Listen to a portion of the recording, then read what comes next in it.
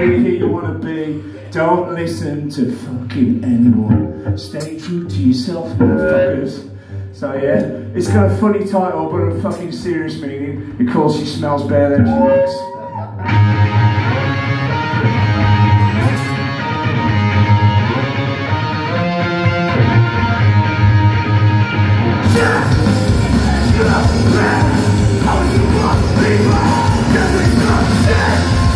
Yeah!